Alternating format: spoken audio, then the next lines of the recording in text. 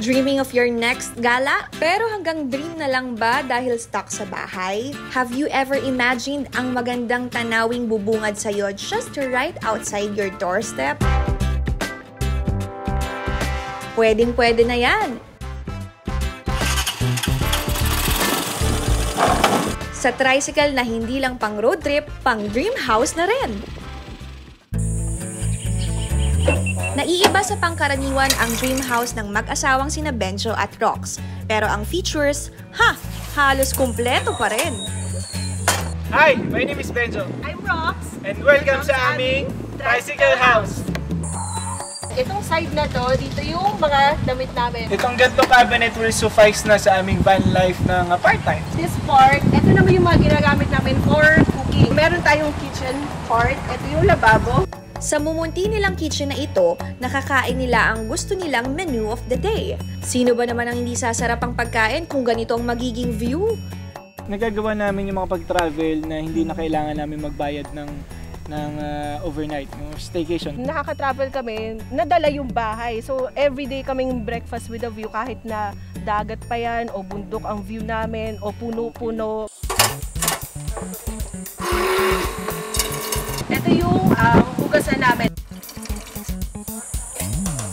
Meron din kami maliit na electric fan. We have three power stations. Again, lahat ito solar generators. Ito yung aming magic bed na tinatawag. Single, pag mag-isa ako, pwede rin double, At wag ka! Hindi problema ang pagligo sa ganitong setup dahil ang kanilang trike house nako-convert din ang isang parte bilang shower area. Itong portable toilet, sineset up namin either here or pwede dun sa cockpit area. So, nandito na tayo ngayon sa cockpit area. This actually serve as uh, water tank para sa ating shower. Isang container lang to. Kasya na to sa amin pang mga tatlo, apat na araw. Yan. This also serve as uh, double purpose upuan na rin ni Mrs.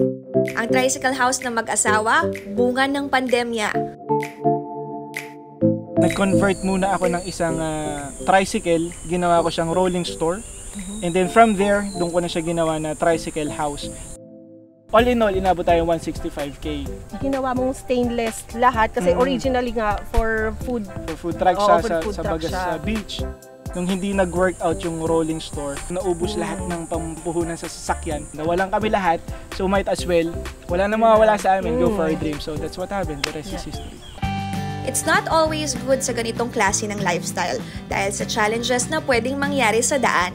Tirikan kami ngayon, hinihila nitong kotse yung trike house namin. Ito, nabalaha ulit tayo. Akyat ulit, tapos malupa, tagal na biyahe. Eh, medyo nahirapan na naman. Pero para sa mag-asawang sina Benjo at Rox, basta silang dalawa ay magkasama, every day is a fulfilling day. Yung dream talaga namin, which is to travel every day. Although mahirap, may at times mahirap, Yes. not all good. Oo. Pero we, we wake up na knowing na this is this is for our dream.